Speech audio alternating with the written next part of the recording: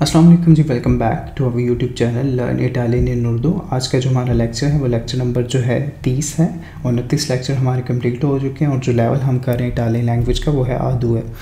जो टाइटल है जी लकाजा दी आसिफ आसिफ का घर लकाजा घर दी आसिफ आसिफ का घर, ठीक है?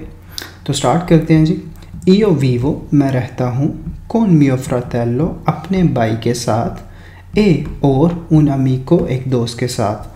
वो कह रहा है कि ईओ वीवो, यानी कि मैं रहता हूँ, कौन के साथ मियो फ्रातेलो अपने भाई, ए और उन अमी को एक दोस्त के साथ। इन उन पलात्सो, एक इमारत में, पलात्सो कहते हैं इमारत को, ठीक है? इन उन पलात्सो, एक इमारत में, दी चिंग पे प्यानी पाँच मंजिला। चिंग पे कहते हैं पाँच को, प्यानी कहते हैं मंजिलों को, ठीक है? वो कहता है कि मैं अपने भाई और एक दोस्त के साथ रखता हूँ एक इमारत में, जो कि है पाँच मंजिला। कौन लाशनसोर है? लिफ्ट के साथ। लशनसोर कहते हैं लिफ्ट को। वो वो कह रहे हैं कि इस बिल्डिंग में जो है लिफ्ट भी है तो वो उसकी बात कर रहा है कि जो है कौन लाशनसोर है? लिफ्ट के साथ। ईओ आबी तो मैं रहता हूँ अलक्वार्तो चौथी पियानो मंजिल पर। ईओ आबी तो मैं रहता हूँ अलक्वार्तो क्वार्तो कहते हैं चौथी को। पियानो कहते हैं मंजिल को। वो कहते हैं कि मैं चौथी मंजिल पे रहता हूँ। ए अबस्तानसा ग्रांदे, ए अबस्तानसा ये काफ़ी हद तक ग्रांदे बड़ा है। ए और लुमिनोजो रोशन है। ए अबस्तानसा ग्रांदे ये काफ़ी हद तक बड़ा है। ए और लुमिनोजो और रोशन है। क्वांदो एंट्री जब आप दाखिल होते हैं, क्वांदो, जब। एंट्री आप दाखिल होते हैं छे है उन कोरिडोरियो एक कॉरिडोर कहते हैं कि जब आप एंटर होते हैं तो एंटर होते ही एक कॉरिडोरियो है। आ देस्त्रा, दाई तरफ़ चिसोनो इल सुजोर्नो। वो कहते हैं कि जब आप दाखिल होते हैं एंटर होते ही जो है एक कॉरिडोर है, और उसके बाद दाई तरफ़ जो है एक सिटिंग रूम है, ठीक है? सुजोर्नो कहते हैं सिटिंग रूम को। और, ए और, ऊना कामेरा दा लेतो, एक जो है बेड वाला कमरा है ग्रांदे बड़ा, ठीक है? वो कह रहा है कि एक बेड वाला कमरा है, जो कि बड़ा है, ठीक है?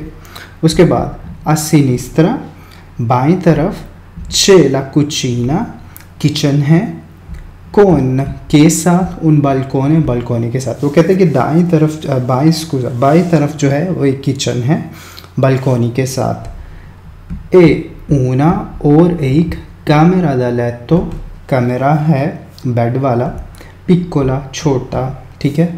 वो कहता है, और जो है एक कमरा है, वो बेड वाला, लेकिन छोटा है, ठीक है? इन फ़ोन दो, इन फ़ोन दो कहते हैं जी, आखिर में, ठीक है? इन फ़ोन दो, आखिर में, अल कोरिदोयो कोरिदोयो के कोरिदोयो के आखिर में, छे इल बानियो एक बानियो है, यानी कि वाशरूम है सेंसला वास्का बगैर वास्का के, यानी कि वास्का कहते हैं टब को। जिस टब में हम, आपने देखा होगा कि यहाँ पे टब होते हैं नहाने वाले तो वो उस टब की बात कर रहा है। वो कहते हैं सेंसा लवास्का टब के बगैर, सेंसा कहते हैं बगैर, लवास्का टब को, ठीक है? वो कहते हैं कि कोरिडोयू के आखिर में जो है एक बानियो है, जो कि टब के बगैर है।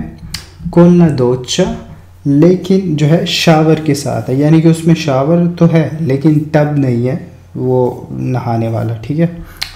ओनी स्तानसा हर कमरा, स्तानसा कहते हैं कमरे को, ठीक है? ओनी स्तानसा हर कमरा आ उन फिनिस्तरा एक खिड़की रखता है। यानी कि हर कमरे में जो है एक खिड़की है।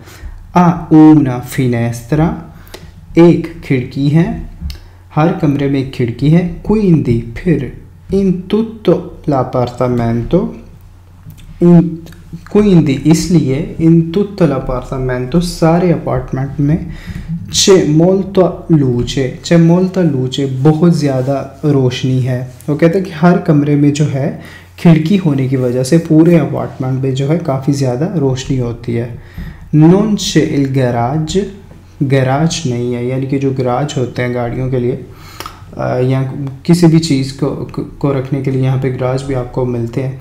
तो वो कह रहे हैं कि गराज नहीं है। नॉन शेल नॉन शेल गराज गराज नहीं है। मच्छे उन पोस्तो, लेकिन एक जगह है। पर बिचिकलेते बाईसाइकिल्स के लिए, यानी कि साइकिलों को खड़े करने के लिए वो कहता है कि एक जगह है, लेकिन गराज नहीं है।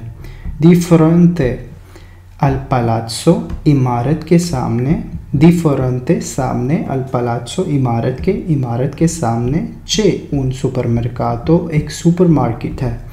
दिएत्रो पीछे चे उन पिक्कोलो पार्को, एक छोटा पार्क है।